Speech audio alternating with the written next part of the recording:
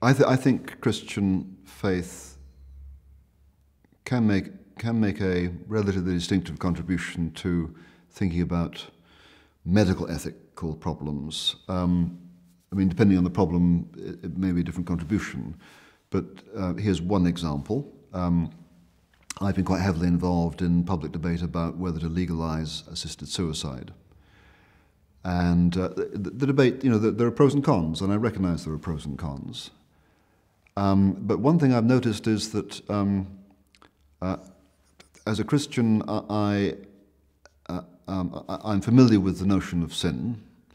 Uh, um, personally, I'm quite familiar with it. Uh, and I, I, I just assume that other people do it too and from what I observe, they do tend to. Uh, therefore, the possibility of um, people not obeying laws or physicians um, um, taking shortcuts with procedures, um, physicians not being aware that uh, relatives are persuading their burdensome uh, um, elderly parents that they really are a waste of space. Um, as a Christian, I'm not surprised, I, I'm saddened by it, I'm not surprised by it.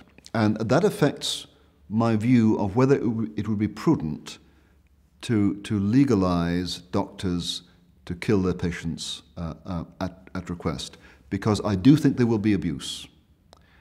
Um, and I do notice that those on the other side of the debate, um, usually, not, usually not Christian, usually well-meaning liberal folk, have to me um, an astoundingly naive view of um, uh, uh, not of our capacity to draft a precise law or a, a, set of procedures, but, but astoundingly naive in terms of how they think real human beings under pressure are going to operate um, uh, uh, in those structures. So in this case, uh, I find as a Christian um, what I regard as a, a, um, a, realistic, not a pessimistic, but a realistic view of, of human motivation and human weakness makes me take a very cautious, cautious and conservative line on this issue, where my my more starry-eyed, enlightenment liberal um, um, fellow citizens, um, uh, uh, well, they seem to me to be starry-eyed.